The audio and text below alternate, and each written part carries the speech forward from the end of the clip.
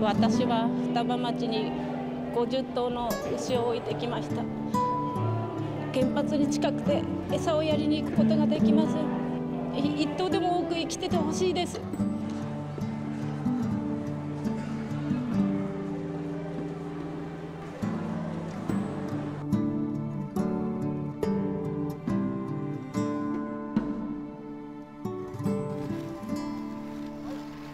じゃお気をつけて。はい、お気をつけて。ありがとうございます。ひろこです見ればする。わかるわかる牛がどっと来るからね、はい。気をつけてね。はい。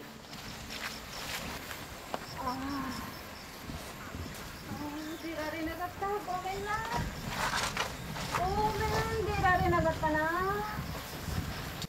ひーちゃんは若手産んだばっかりだったから逃げれなかったな。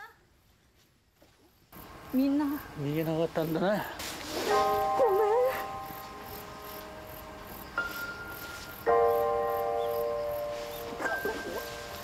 逃げれなかったよ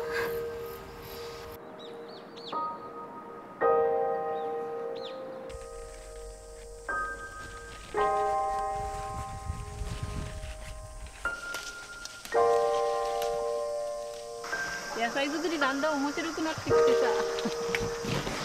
牛に変わった存在だね。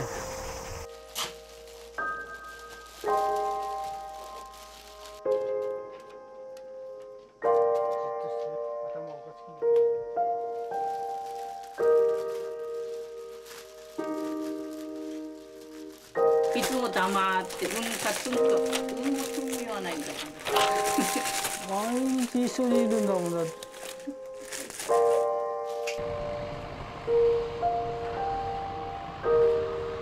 あいつらいっぱい金持ってんだべと。そういう偏見な目で見られて。るお金もらって何するの？なんでこんなに働かなきゃなんないの？とかね、うん、言う人も結構いるんですねあれが辛いですね。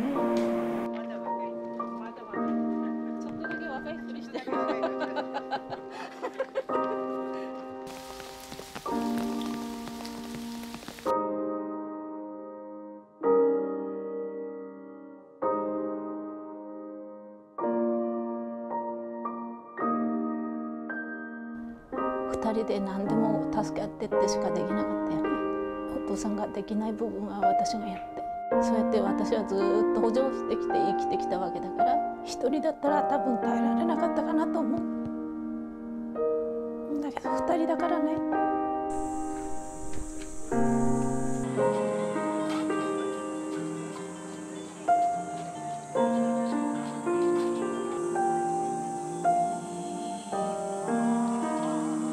埼玉に来たらね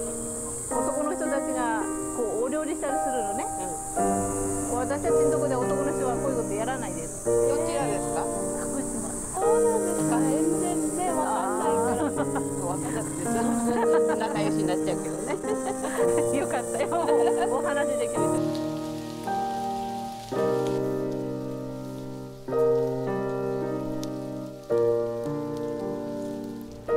私の避難って今からじゃないかな。